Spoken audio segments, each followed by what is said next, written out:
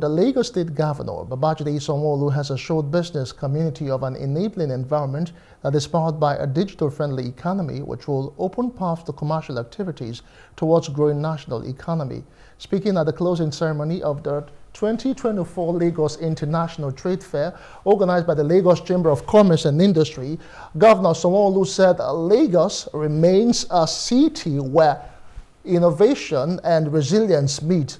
The governor explained that the theme of the event, Connecting Businesses, Creating Value, aligns with the state's vision to foster partnerships, drive innovation, and build an environment where businesses of all sizes can thrive. Businesses that are here, small, medium, or large, you know, whatever it is that you're doing, look at the end product of what you are producing. How recyclable are they? How reusable are your products? How reusable are your, you know, are your, your, your containers or your, your packaging? Because it's only when we do things that are, you know, almost 100% reusable or recyclable that we're actually creating a greener, a more efficient world of the future. And we're preserving this not for us that are here today, not for all my uncles that are in their 70s, you know, but for the future. Cooperatives Trade and Investment Folashade Ambrose Medebem said the fair underscored the commitment of the state government in equipping and enhancing business partnership with the private sector. In his remarks, the president of the Lagos Chamber of Commerce, Dr. Benson Idahosa appreciated Governor Sanwo-Olu for creating an ambience that allowed smooth operations of the year 2024 trade fair, while thanking participants across Nigeria and Africa for making the fair a success.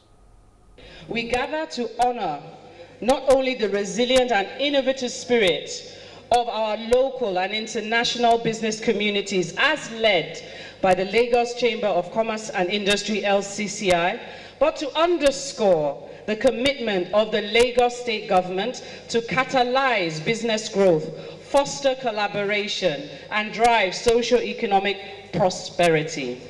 This year's theme, Connecting Businesses, Creating Value, encapsulates our shared vision and mission particularly in today's fast-paced, ever-evolving global economy Fostering connections is no longer an option, but a necessity.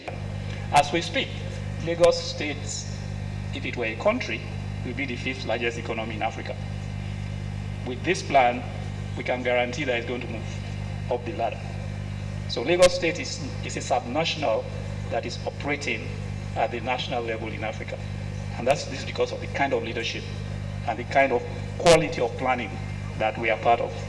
I want to express our profound gratitude to all the government agencies that provided useful and important services, facilitating the 2024 fair.